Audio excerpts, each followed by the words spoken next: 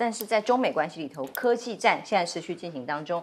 华为这个新机当然引起了非常非常高的关注啦。这个 Mate 六十今天最新消息又传出来，它有公布，还有两款新款的哟，包括了 Mate 六十 Pro 的 Plus 版，还有 Mate S 五的新机哦。所以相立刻连带的相关的股份啊、股票啊、供应链呐都大涨，相对于台股这两天。倒是今天稍微收敛一点，只跌了四十几点。昨天是股汇双杀重跌的情况之下，尤其是苹果，因为昨天我们讨论了好多天，这个中中共官方说要开始把所有政府机关关于使用苹果这个条件全部封杀，到不准用苹果，立刻让苹果市值这两天蒸发了一千九百亿美元，几乎拖垮了整个标普五百指数整个收黑。哦，苹果的股价这两天内大概错重挫六点五百分比左右，市值。算下来真的很惊人，一千九百亿。那有消息说，哦，北京要扩大对于国家的工作人员也会禁止使用 iPhone。投资分析师就来说了，中国政府的禁令跟华为的新手机上市，会促使更多的用户，尤其是中国的用户转向华为。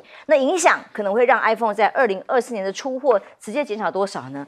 一千万。相当于总出货量的四点五百分比，对一个公司的营收来讲，当然是重中之重。那甚至传出来，未来华为会大降对于美国企业高通的依赖，就不进它的货。那这样的话会有什么结果呢？分析师说明年呐，可能会改用自主研发的麒麟处理器。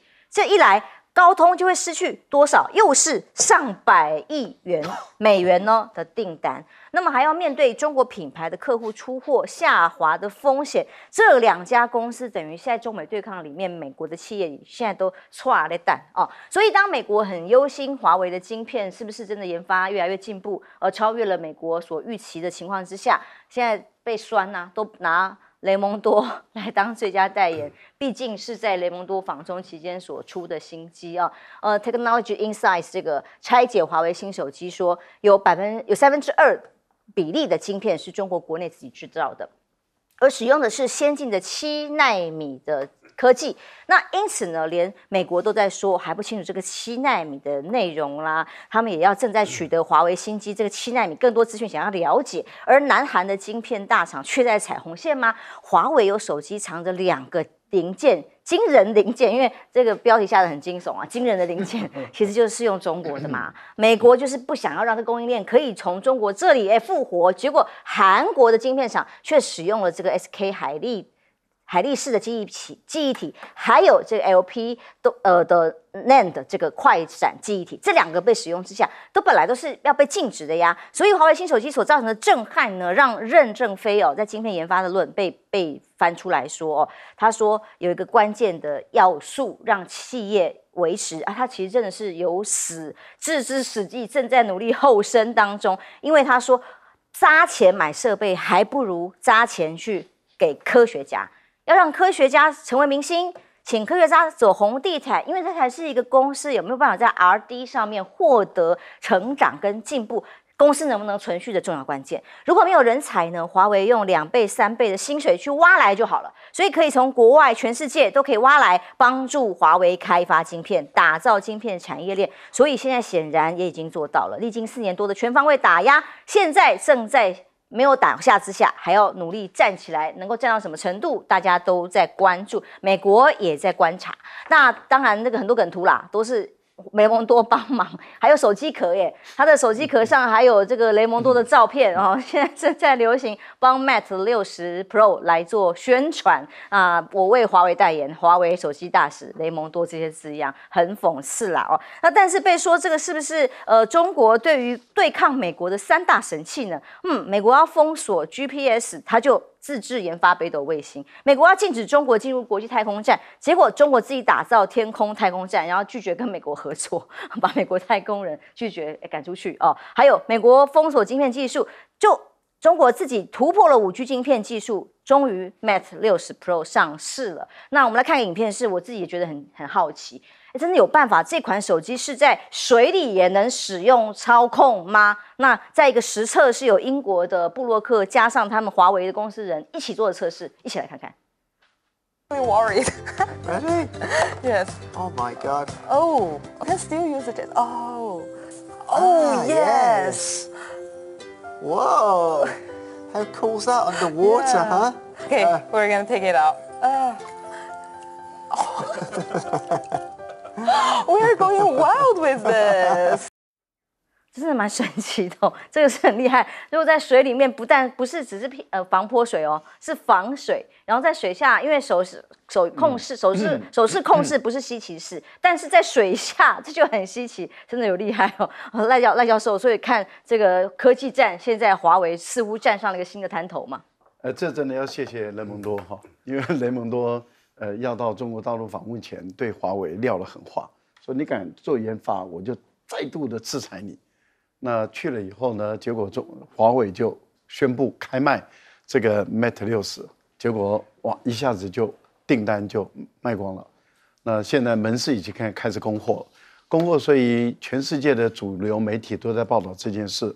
那很多的玩家就赶快想尽办法透过各种嗯办法去拿到啊这个机子。呃，我也很努力，但是没有办法啊。然后拿到以后，他们就做测试，哎，卫星厉害，因为这是大家的梦想。上次我们看过的影片，对，我们都知道，在这个荒郊野外啊，这个基地台远的地方，我们常常就收讯并不理想。结果它在卫星方面可以供应，你想在海上、在沙漠，那么在偏乡，它就很好。现在的情况是，大家都知道手机最怕的就是进水啊。我儿子前段时间他的手机进水，苹果的哈，然后就跟我说完了，毁了，他的生日怎么会这么倒霉？那暗那个暗示就是我送他另外一个新的生日礼物 啊。但是呢，手机不能进水，我们都知道。那华为告诉你说安全，然后我们都知道这个手机基本上来讲，我们的界面其实是用看起来是触控，其实是跟温度有关。那你在水中的时候，你的温度下降，你就没办法。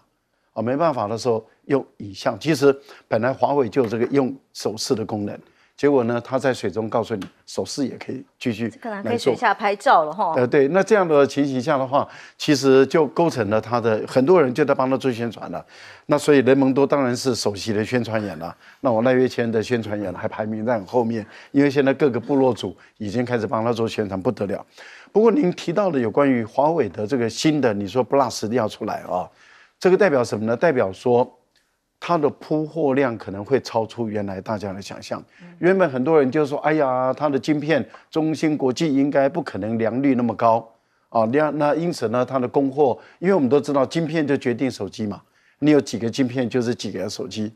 那他们就说，那华为不会很多。结果呢，有后来慢慢传出说，可能上看什么啊一千万台，后来开始说不对哦，应该是四千万台，现在喊到一亿啊。这个会不会喊得太过分？好，但是问题就在于，当他又公布新的机型的时候，就代表什么？代表它的晶片这个部分，中国的量产这个部分似乎障碍并不多喽。那么就代表说它的竞争的潜能更大了。这样子情形当然会压迫到苹果的供应。为什么？因为苹果中国大陆的市场占苹果百分之二十，那很大的五分之一耶。可是如果大陆的市场出了问题，减少了，那苹果的营收就会减少。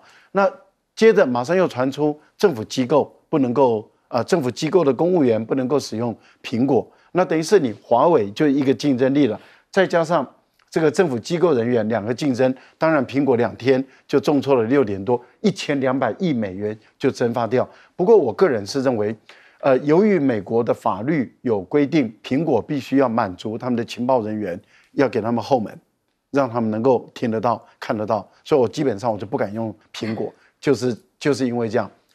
如果因为我知道这个法律是真的，那应该是党政军都不能用，哎，那我应该是上亿以上的人要法律规定不能用，那这样的话，苹果可能一下子潮没有一下子苹果就萎缩了将近百分之二十，你看看这才厉害。影响就大了哦。奎博怎么看中美的科技战这一次？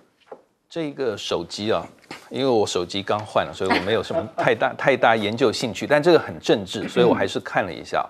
我觉得很关键的三大面向是什么？第一个就是它的这个关键材料，就制作手机，特别是像晶片啊这些的关键材料。第二个是什么？第二个是制造的工具。第三个是相关的科学技术。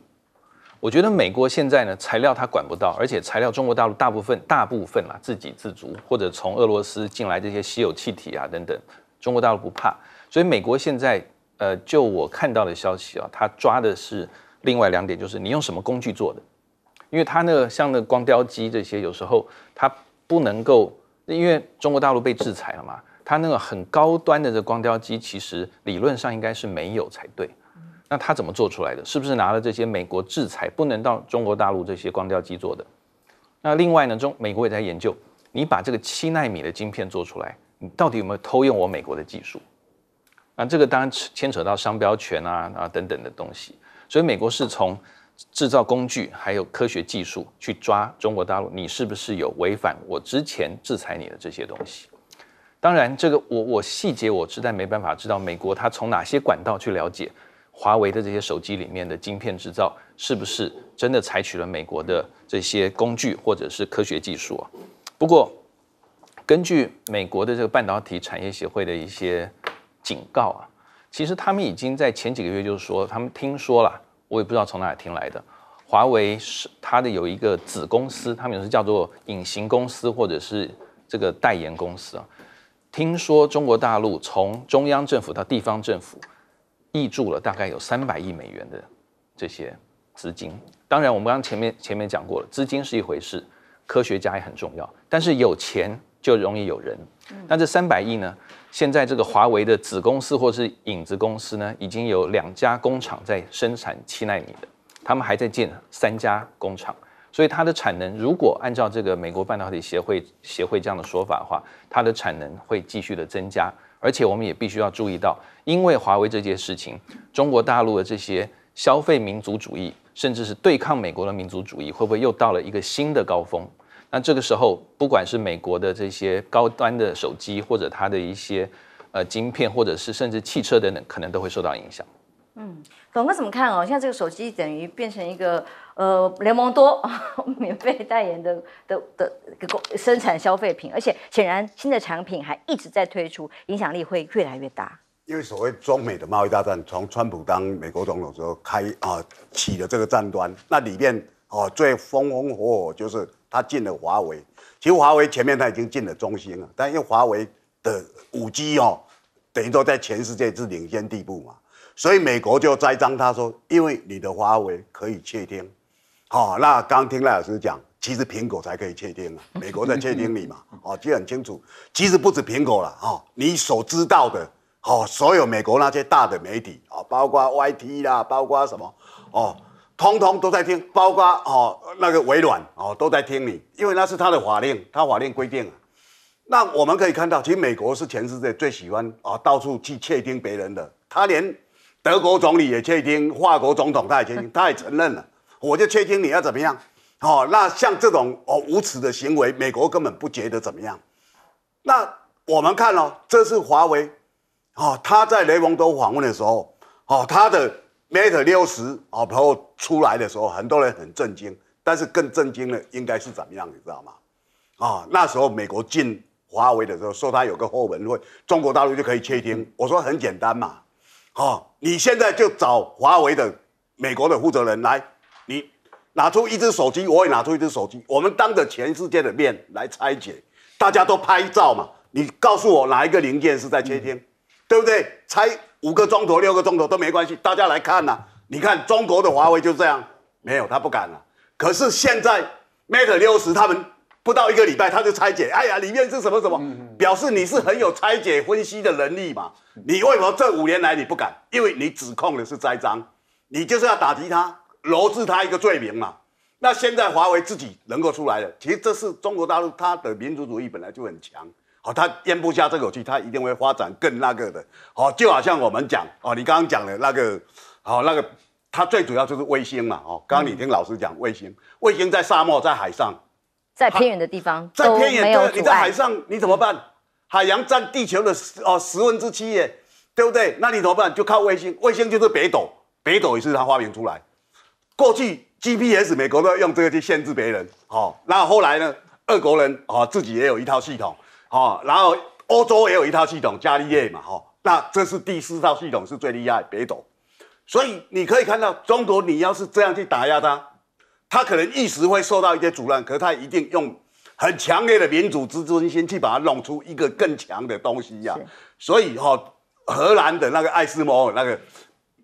美国叫他说你要把升呃升啊升级那个紫光那个、哦、不要卖给中国大陆，他说我们不卖给他，四五年以后他比我们还厉害，然后他跟我们抢市场，就是这样，所以他们没有搞清楚中国人的想法。我就想说，以后不想接电话，不能说哦讯号不好，讯号不好，现在都微信，没有办法用这个理由啊。那继续关心一下，在日本核废水排放的问题，尹锡悦跟李强见面，当然后来被爆出来两个人是不欢而散。这个五十一分钟的对话几乎是互相在呛下。尹锡悦接受印尼媒媒体的访问，甚至说哦要重新组织韩日中三方合作，继续强调还是要日本核污水的这个排海问题丝毫不影响三方交流，真的吗？其中尹锡悦自己在国内影响就很压力很大啊，他的在野党现在还在。绝食抗议，那么也有要提对他提出这个弹劾的这个处分的要求，声音正在进行当中。李在明绝食已经迈入第九天了，来看看民众为他落泪的状况。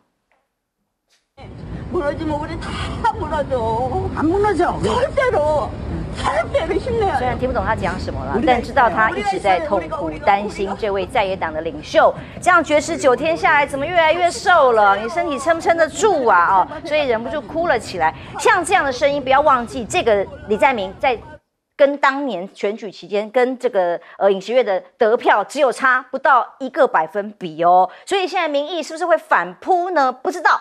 但是呢，在日本的部分，岸田文雄说要跟习近平一同为日中关系努力，有没有办法努力？还是在东亚峰会上发表演讲的。在东亚峰会上哦，仍然跟李强有一些简单的交谈，那被做了梗图，这是设计对白哦，这不是真实状况，这是大陆网友的设计对白。我们来看一下，他说：“哥，赶快取消制裁吧，你看我民调都那么低了，行个方便吧。”那对方。以读一个笑容，当然这是梗图哦，但的确在国内它的压力也很大哦。日本福岛已经有百名的居民要抗议，同时要去控告东电双重迫害，因为呢，包括在长崎县这里哦，其实我自己都觉得很可怕耶。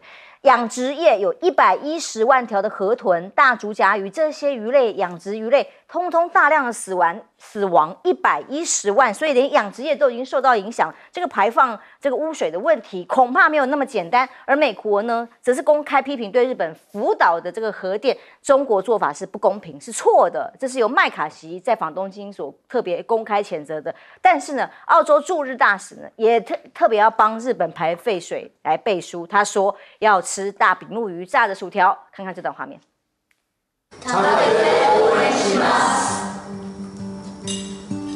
今日は大使館で福島の魚を使ってフィッシュチップスを食べています。オーストラリア大使館ではこれからも福島県産の食材を使っていきます。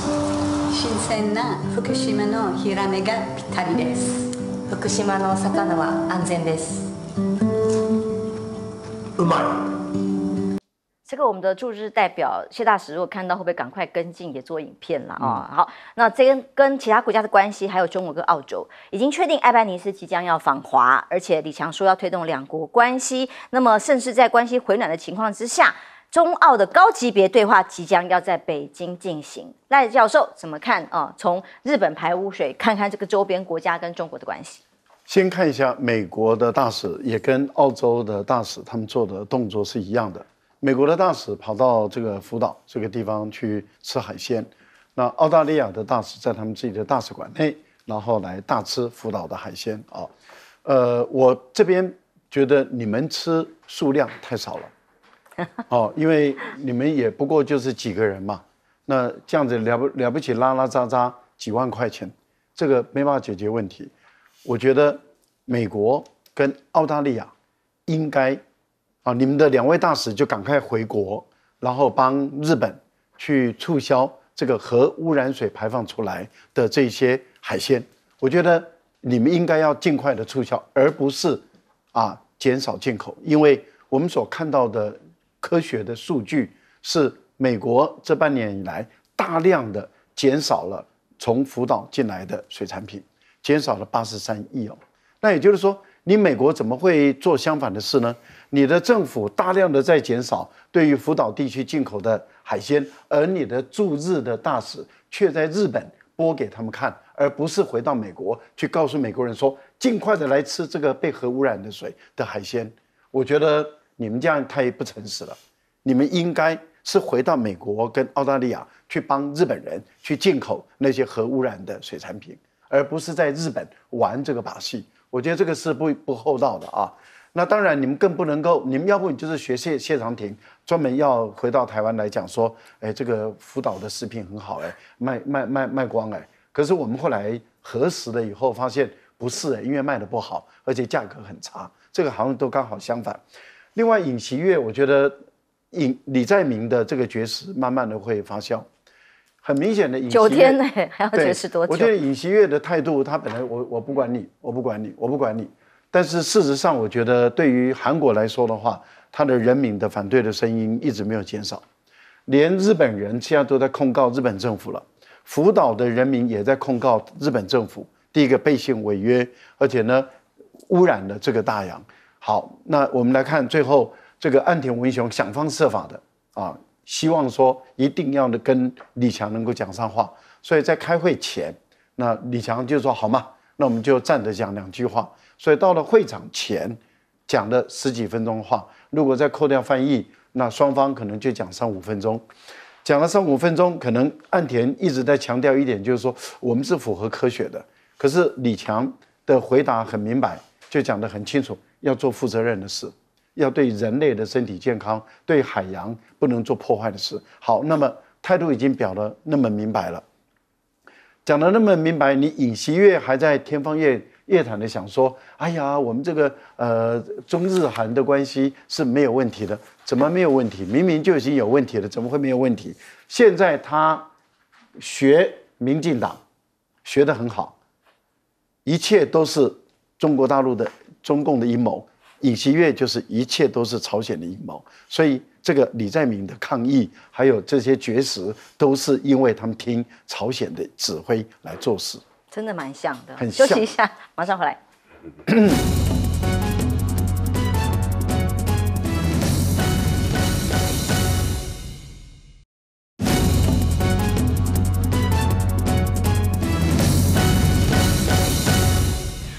国的关系有一度非常紧张，大家印象深刻的。但现在艾班尼斯要去访中，代表关系改善了吗？对，我们可以从几个迹象看过来啊。第一个就是。我们刚刚这个电视墙上也看了嘛，第一个李强，中共的总理说推动两国关系进一步改善，然后呢，王毅也讲了，过去的事情不代表我们中澳关系的本质，我们要抛掉这些包袱，加速前进。他们不会平白讲这些话的，嗯，事前我们用大陆的话讲叫做通通气，也就是双方一定有先沟通了，大家已经心里有个底，当澳洲的总理到北京访问的时候会发生什么事。所以北京的这些高层官员才一个一个释放了正面善意的讯息，所以这是很明显的事情啊。那但是我会觉得说，像澳洲总理这样子到北京去访问啊，在台湾的一些根深蒂固的觉得就是不能跟北京接触的人，一定觉得这就是投降主义。所以我一想说，哎呦，那这样子的话，美国在今年包括从布林肯到财政部长耶伦，然后到他的气候特使凯瑞，然后到雷蒙多。全部都去投降去了，那没有这样的事情，所以斗归斗，但是呢，该谈的、该沟通的还是要做。不过，我们也必须要知道，就是说，澳洲啊，他很小心的处理跟中国大陆关系，所以我发现他的这个经济经贸官员比较少谈到所谓中国大陆胁迫性经济措施。很好玩哦，他的国防部长反而偶尔讲这些话，国防部长跨足到经济了，然后呢，很多时候是美国的。国务卿、美国的贸易谈判代表、德国的外交部长在帮澳洲说：“哎呀，澳洲你要小心中国大陆的胁迫性经济措施啊！”所以澳洲其实在这方面，它口径已经慢慢缩回来了。为了什么？为了就是要帮到北京去的这个总理铺路，不要把气氛搞坏掉了。但是我们也不要忽略了，澳洲虽然说经贸是这样的，但是它在。AUKUS 军事合作同盟，或者是亚太经济合作，跟美国它不会断的。嗯，龙虾不知道开放了没？我们持续观察，休息一下，马上回来。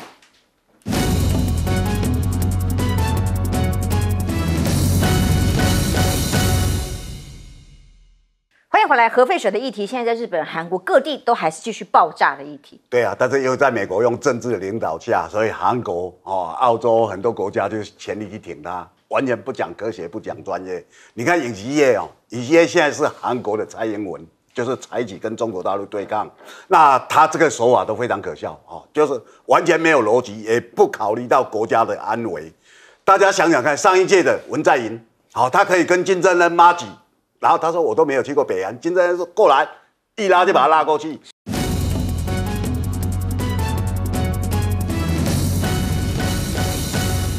观众朋友平安，欢迎收看 TBS 新闻大白话，我是王浅秋。介绍这一节一起跟我们讨论国际以及国内议题的来宾，第一位是国际政治专家白有谦教授，主持人好，观众朋友大家好。资深媒体人董志森董哥，是各位朋友，大家好。正大外交系副教授黄奎博老师。主持人、各位观众朋友，大家好。来看看哦，呃，蔡总统在友邦所做记者会上的发言，我们已经分了三个阶段讨论，因为难得嘛，总统很少接受记者访问啊。那这一次的访问里头有一段是我们大家蛮关注的是，中国介入选举的力道现在台湾日渐增加了。方式这么多元，所以就要想尽办法，用更快速的方法是解释这些假讯息跟认知作战啊，这个是跨海在交办，就是认为，嗯，现在选举已经有外部势力在介入当中，在史瓦蒂尼是不是三项这个 M O U 的协议里头，其中这个油草啊，因为这是在一家自由时报的媒体上看到的标题，当时大家有很多的解读，后来大家演绎又，发现不是想象的这样，就是说帮史瓦蒂尼盖这个战备油槽是要保障台湾能源。那后来仔细研究一下，当然是不太可能了哦。那所以立委马文君就说了，这个是台海紧张，中东的油轮进不来，难道非洲的油能够派上用场吗？所以呢，战略油槽是用来改善施瓦蒂尼的能源储备，所以是媒体的标题让大家可能误会了啦哦。那事实上也不可能办到，大家比较担心是后面还要投入多少资金才有办法做得到。而美国是不是有风向变了的问题呢？那目前在美国总统大选的民调数字上面，一直川普蛮好的，那么。川普又是一一连串在各种争议事件里面，还是拥有很高的民调知名度。他说：“我跟习近平的关系啊，超好。如果我当总统的话，中国绝对不会入侵台湾，而且重重复的强调，绝无可能。只要他当选总统的话。”而 CNN 的民意调查说，拜登呢在二零二四年做准备的时候，面临的负面的工作支持率跟对自己年龄的担忧，就是说他的。政见表现、政治上的表现、政策表现是支持率受到很大的挑战跟质疑的。其中百分之四十六的民众都认为，二零二四任何共和党的总统参选人都比拜登好。哎，这个就心酸酸尴尬了。还有七成三的民众认为，关切拜登的年龄、身心状况会不会有疑虑。再至于有五成八的民众认为，拜登让美国的经济雪上加霜。那党内的人有在踩一脚的味道在里头吗？的副总统贺锦丽说：“哎，如果拜登不行了的话，他回答随时准备当总统。这个真的是让大家到底是在帮他还是害他啊？各有解读啦。但无论如何，在美国的友邦加拿大方面是全。”完全的力挺美国的相关呃抗中政策，其中加拿大任命了法官霍格去调查。中国干预选举哦，你看这两个呼应起来，是不是跟我们蔡总统也很像哦？中国一直在干预选举，连加拿大也不例外。所以七号这个上任命上诉的这个法院法官啊，就负责要来领导外国干预选举指控的公开调查，其中重点当然就是中国喽。那还有一个消息是，加拿大最近军舰在印太巡防的时候，至少三次跟中国军舰有形容是互动，其实根本就是对峙。的状状况，现在把这个新闻消息给释放出来。六月号，九月六号的下午，有陆大陆的吕洋号军舰在东海紧随舰队，距离盟军船只才一公里，透过海上无线电反复跟加拿大的国家的舰队来呼喊。这两次有九月五号渥渥太华两次的遇到的船舰呢，其中一次大陆方面还使用了激光去照射加拿大的军舰，并向这个方向发射无人机。到了这是之前六月的时候，美加军舰联合通过台湾海峡的时候，大陆的军舰曾经故意切入到美军的驱逐舰中云号的前方哦，插车插队的概念。当时双方相距不到一百三十七公尺，当时他强烈谴责说，这可能会造成随时可能的风险跟危机啊。而加拿大国防部长讲的更重了哦，他说这个地区对全球安全至关重要，而且在未来几年只会更加重要，所以他也对这些行为曾经做过严厉的谴责。而杜鲁道怎么说呢？哦，中加的关系没有恶化，但是很难有政治和解的空间。呃，中国在几年里头做出的决定，增加了两国交往的困难。他说，不止加拿大如此，其他国家也如此，所以中加关系显然是没有办法解决。当杜鲁道在关注印太的贸易协定，说中国试图挑拨我们，然后是印太地区的贸易对抗中国胁迫的措施，中国以非常有效的战略在挑衅。那么，其实美军加强在抗中，还有一个国家，日本当然是全力的配合跟协助的情况之下，日本最高法院也责令到冲绳啊，冲绳反对修建美国海军陆战队的跑道，被日本最高法院驳回喽。那么，尽管当地人很反对，不愿意再有更多的军事设施，把炮火跟可能的风险引到冲绳去，但是显然没有用。现在还是会有民美军的基地建设在当地继续的来做。跟上美国要求的进度，而另外有一个这个消息是说，美军突然取消了高超音速飞弹的试射，听起来好像没有什么，但是 Bloomberg 他特别把它分析的呃很有意思。他说，在九月六号突然取消研发这一枚高超音速飞弹试射，本来是要秀军力、秀肌肉的啊，但这个飞弹的研发本来是意图要赶上中国的新一代重要武器的。却突然取消了，哎，他们认为是不是认为跟不上了呢？还是有什么特殊的原因呢？目前是没有答案了。但 Bloomberg 把这件事情看得还蛮重要，觉得它有它的敏感度在其中哦。董哥你怎么看这个所谓中国介入台湾选举？蔡总统在国外啊，特别还要跟媒体讲这件事情。蔡英文哦的羞耻心跟我们不一样，四年前他就指控中国大陆的哦介入选举，而且借着王立强事件。然后台湾的检察官下去办，哦，办得风风火火。然后前天大家也看到那个判决出来了，对不对？他指控向心夫妇，哦，因为王立强说向心是我上上家嘛，哦，我们要花六十亿让韩国瑜当选总统。然后蔡英文公开讲哦，中国大陆就介入我们的选举，检察官就动了，动到现在四年后，向心用国安法办不成，哦，给他两次的不起诉。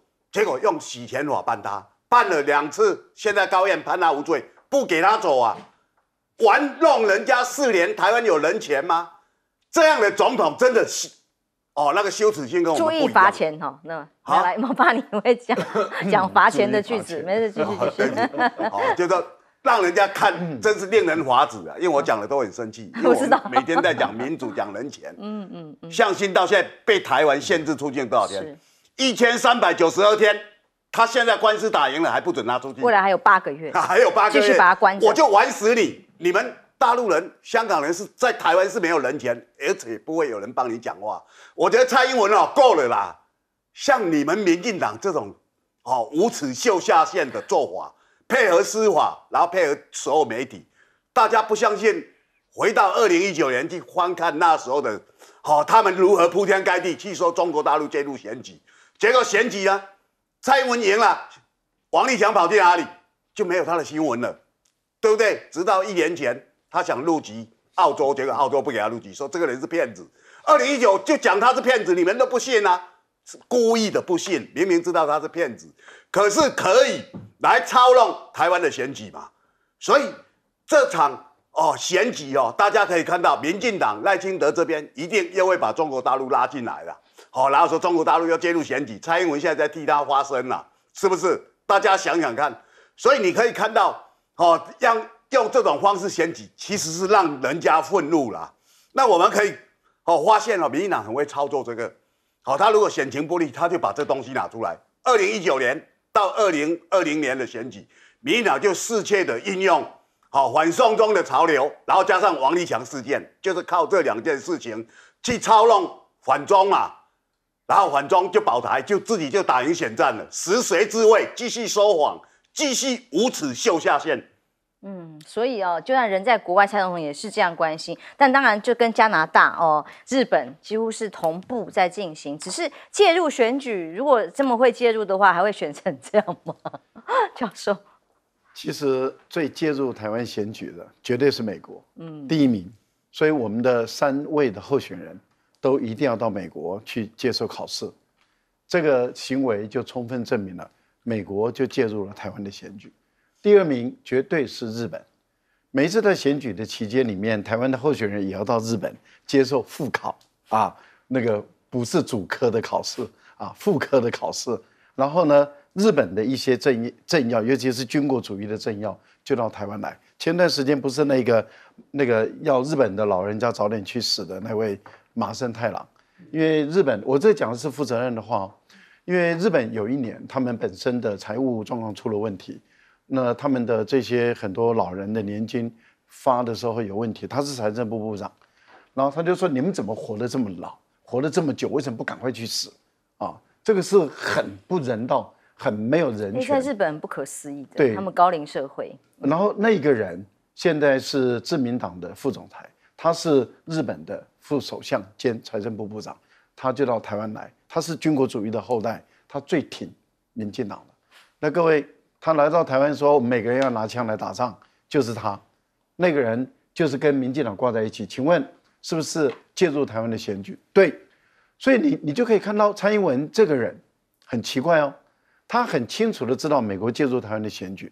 日本介入台湾的选举，他也很清楚知道，他上一次的选举就是澳大利亚介入的，因为你刚刚讲的向强服务的案子，对或是讲的那一位啊，这个所谓的间谍，哎，请问一下，如果不是他们的电视台配合，如果不是他们的国家情报机构这样配合，一开始我们就在这个节目，我我记得我就在这里说，我们研究情报工作那么多年了，我们没有看过那么笨拙的情报人员，大拉拉还要还要拍雪生。我也是，我说全世界年减掉，没有看过这样从来没有看过这种人员。说，哎，还要拍写生呢，还要拍那个美照，全来没有过好。但是很明显的，哎，讲到这里啊，我还是为要为向信夫妇讲一句话。刚刚董哥讲的很清楚了，破坏人权到这个地步还不让人家走，然后国际的人权组织、欧美的人权组织怎么闭嘴了？台湾的人权组织怎么闭嘴了？这些原本很重视人权的人怎么都闭嘴了？只因为他是大陆人吗？大陆人跟香港人就可以没有人权吗？我觉得这些人实在是很不应该啊。好，题题外话哦。不过我觉得现在民进党当局一定是吓得一身冷汗，因为川普说，哦，哎这个我我在节目上我也我也曾经分析过，我说川普一上来以后，他很有可能一翻脸，整个中美的关系就翻转了。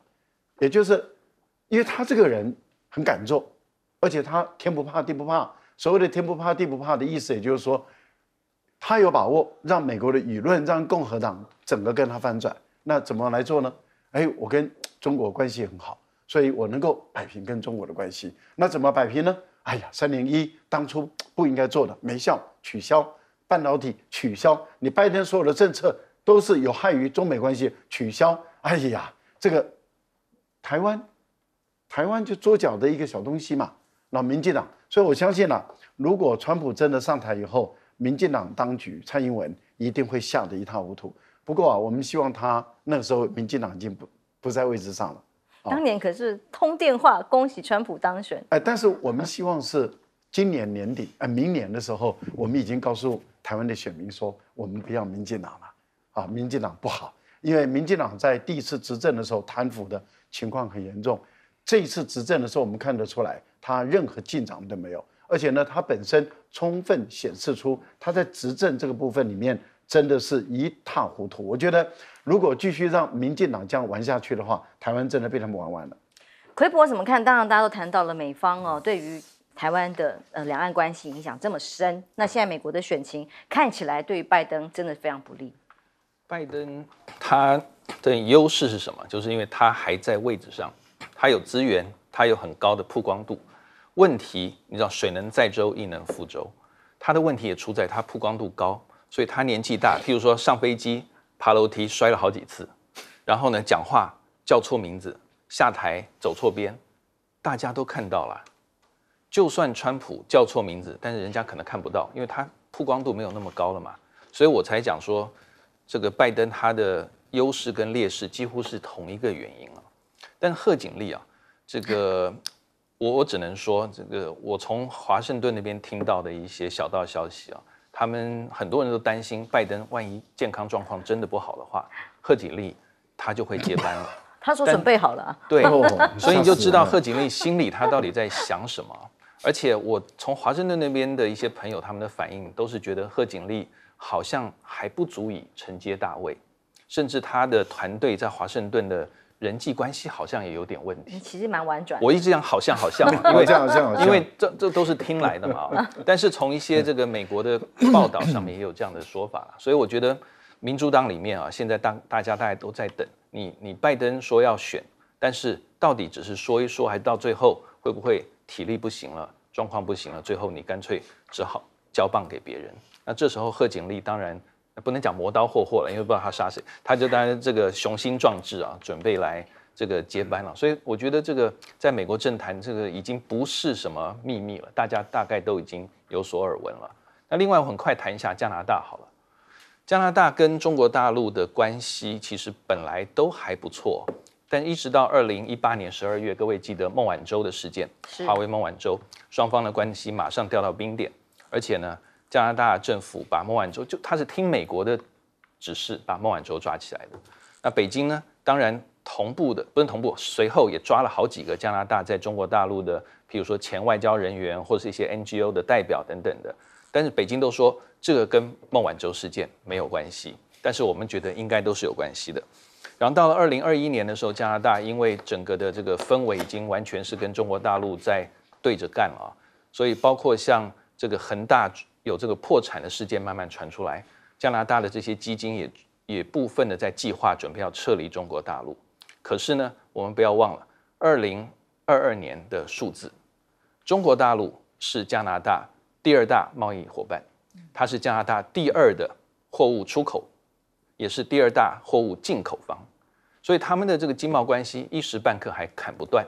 不过在政治上面，我想那个杜鲁道说这个中加关系没有恶化啊，只是难有和解空间。回不去他意思就是说，对，回不去了，就这样了啦。我现在现在关系怎么样？未来在我任内大概就是怎么样了。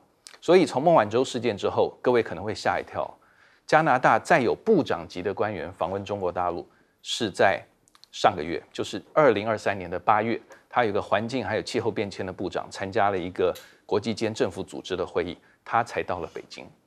一八年到二三年这么久，只有一个部长级的官员去了，就知道关系的解冻或许还要很长一段时间。是的确哦。